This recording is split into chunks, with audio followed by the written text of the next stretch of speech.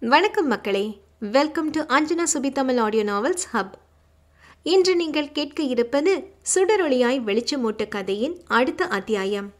கதையின் குரலாய் நான் கிருத்திகா ராஜ். கதைக்குள்ளே போகிறதுக்கு முன்னாடி நம்ம சேனலுக்கு இப்போ தான் ஃபர்ஸ்ட் டைம் வரீங்க அப்படின்னா சேனலை சப்ஸ்கிரைப் பண்ணிக்கோங்க. பக்கத்தில் உள்ள பெல் ஐக்கானையும் ப்ரெஸ் பண்ணிடுங்க. சரி வாங்க கதைக்குள்ளே போகலாம். சுடர் மூன்று.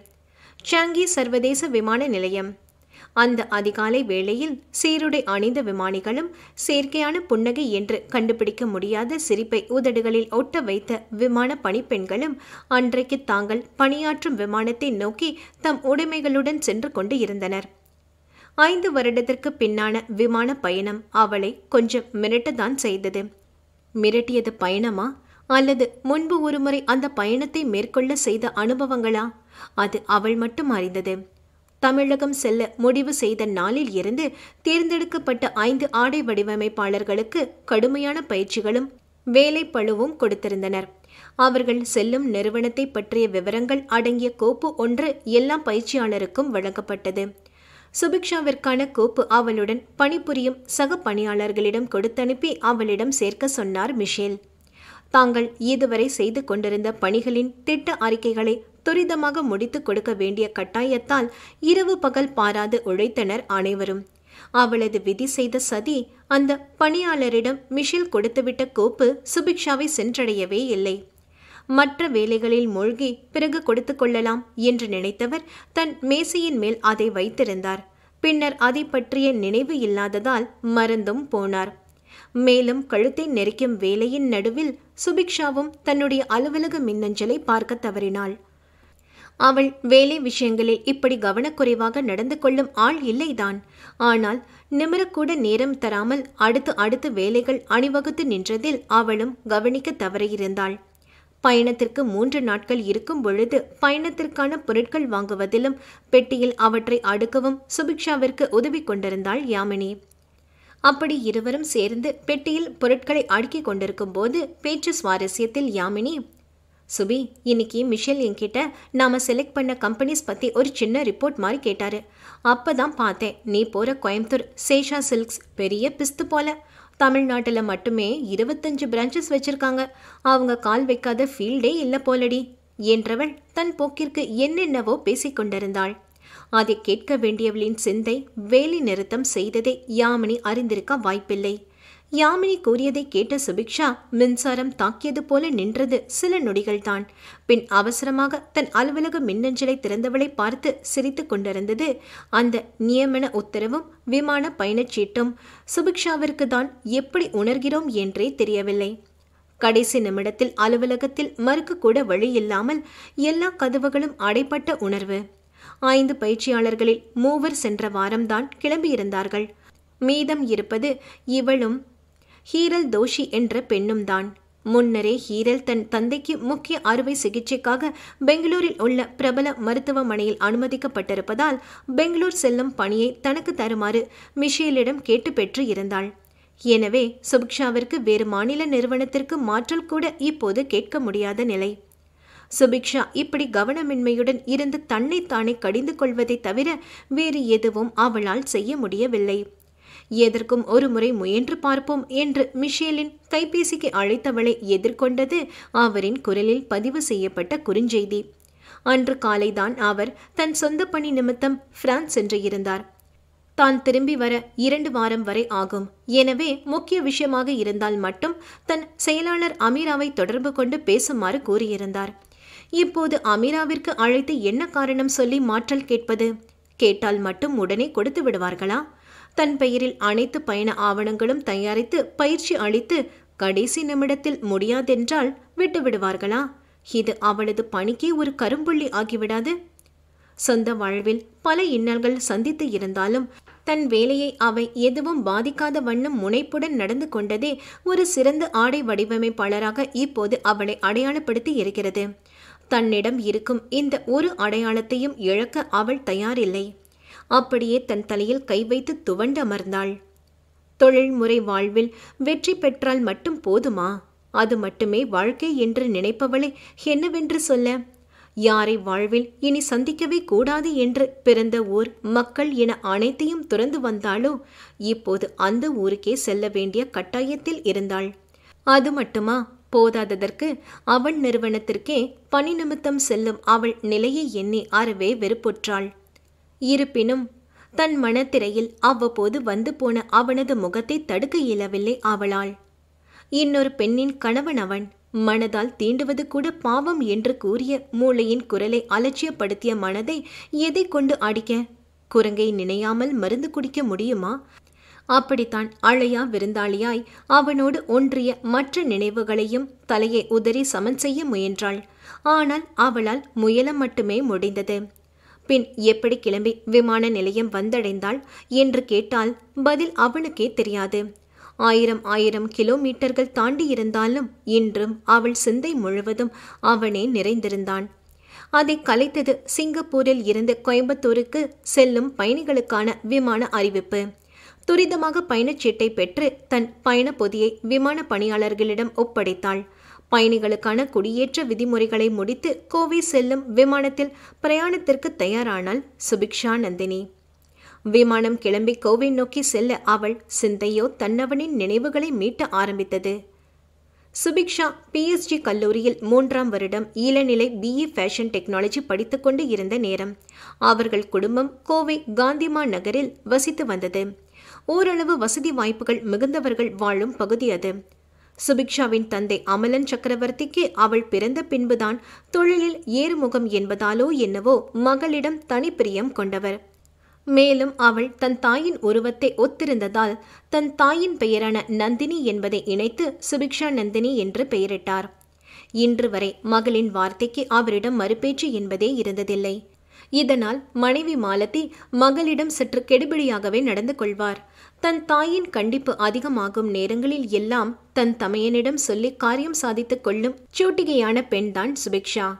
எப்போதும் சுபிக்ஷாவை கல்லூரியில் காலையில் அமலன் செல்லும் போது விட்டுவிட்டு மாலை அவரை அழைத்தும் வருவார். மிதுன் தந்தையுடன் சேர்ந்து தொழிலை பார்க்க ஆரம்பித்த பின்னர் மாலை அவளை அழைத்து வரும் பொறுப்பை அவன் ஏற்கலானான். அந்த முன் மாலை பொழுதில் சுபிக்ஷாவின் இல்லமான நிறுவனத்தில் மாலை சிற்றுண்டிக்காக பணியாரத்திற்கு மாவு கலந்து கொண்டிருந்தார் மாலதி. அவரிடம் மார்புக்கு குறுக்காக கையை கட்டிக்கொண்டு நான் என்ன சின்ன குழந்தையா? தேர்ட் இயர் முடிக்க போறேன். இன்னும் காலேஜுக்கு தான் அப்பா அண்ணனோட அனுப்புறீங்கன்னா பக்கத்தில் இருக்கிற குன்னூருக்கு கூட ஃப்ரெண்ட்ஸோட தனியாக அனுப்ப மாட்டேங்கிறீங்க? என்று தாயிடம் முகத்தை தூக்கி வைத்துக்கொண்டு வாக்குவாதத்தில் ஈடுபட்டிருந்தாள் சுபிக்ஷா. பதிலுக்கு அம்மணி சின்ன பிள்ளை இல்லாமல் அதுக்குள்ள பெரிய மனுஷி ஆயிட்டீங்களோ? இன்னும் குடிச்ச காஃபி கப்பை எடுத்துட்டு வந்து சிங்கில் போட தெரியல. காலையில் போர்வியை மடிக்க வழி இல்லை. வந்துட்டா பேச. இன்று கையில் கரடியுடன் மாலத்தி சாடி கொண்டிருந்தார்.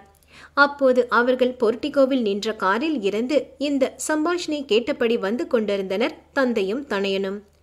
அமலனின் வரவை அவர் கார் சத்தத்தை வைத்து கண்டு கொண்டவள் தன் வழக்கமான நாடகத்தை அரங்கேற்றினாள்.